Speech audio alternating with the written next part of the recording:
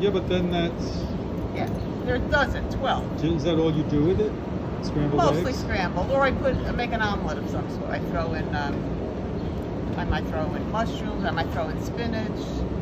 I could even throw in some snap peas, Snow peas. snow peas. What's the difference, snap peas and snow peas? Snap peas, I think, have stuff inside them, like peas. These are flat. Yeah. So but these don't are you bake? bake.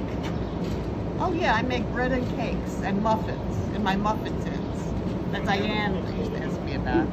But Diane, Diane is gone. It was interesting. Someone posted something on Facebook asking, "Does anyone know, know, know anyone personally who has COVID or died?" Yeah, Almost that. everyone said no. I was surprised. I was very surprised. I mean, she's the only one I know. She and uh, what's his name? Henry, not Henry. What's his name? Her partner.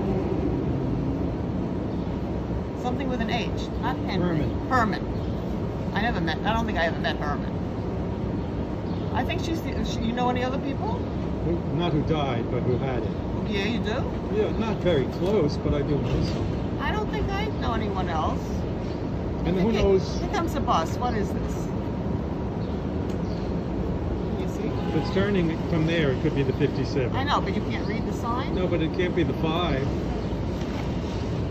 I'm gonna get in position in case it's a 57. Probably is. We're gonna we're gonna change the, we're gonna our things?